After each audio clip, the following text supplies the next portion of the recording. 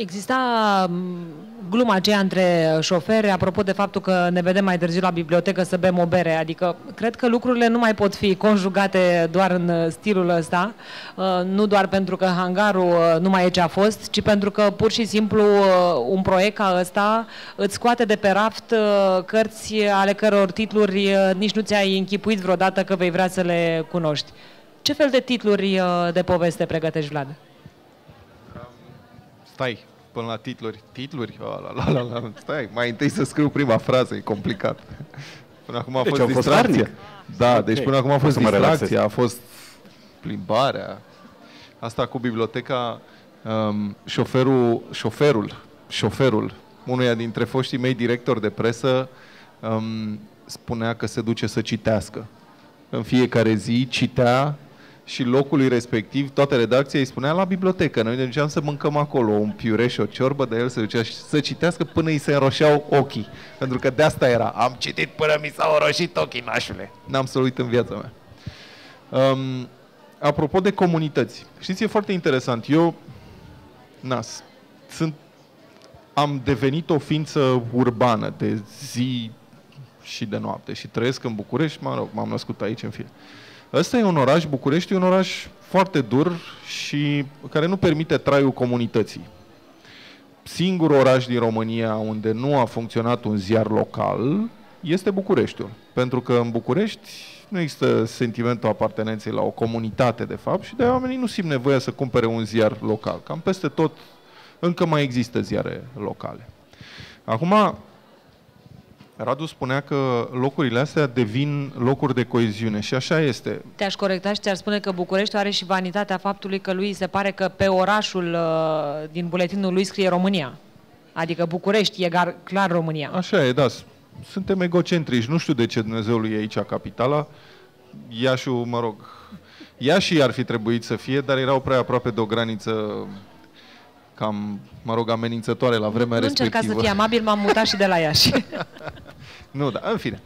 Um, biblioteca drept loc de întâlnire, da, am întâlnit într-un sat um, o bibliotecară acolo super simpatică, viața comunității știa tot și era o domnișoară care, mă rog, și ea a venit la computer și mi-a spus, um, ea vine și face curte un băiat care stă afară și mie nu-mi place de el și am zis, vino să intre la bibliotecă. El nu vrea să intre la bibliotecă, drept pentru care o bat pasta la cap să renunțe la el.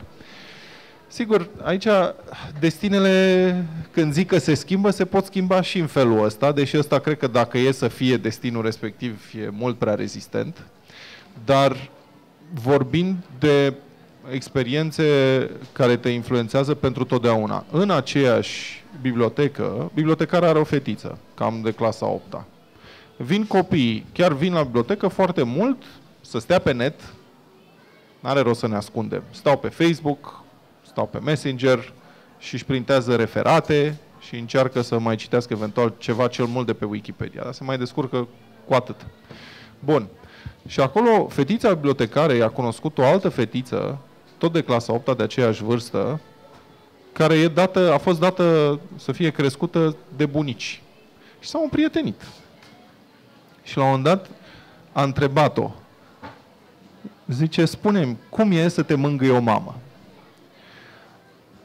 Mie întrebarea asta, cum să spun, în momentul în care un copil de 8 ani între, și întreabă prietena cea mai bună cum e să te mângâie mama, mi se pare cutremurător.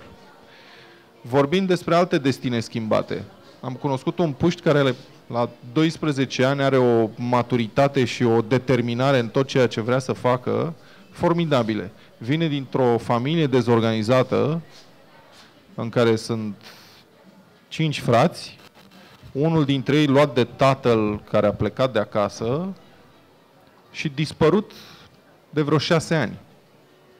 Și deci n-au mai știut nimic de el. Căutat la poliție, pe afară, nimic.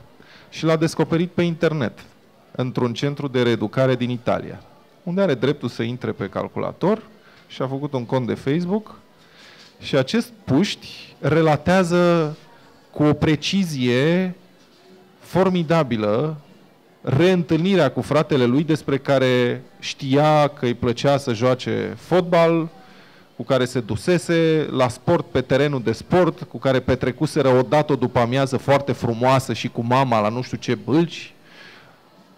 Și ăsta când și-a sunat mama de la bibliotecă să-i spună l-am găsit pe fratele nostru, pe fratele meu, mai că s-a amenințat cu o mamă de bătaie.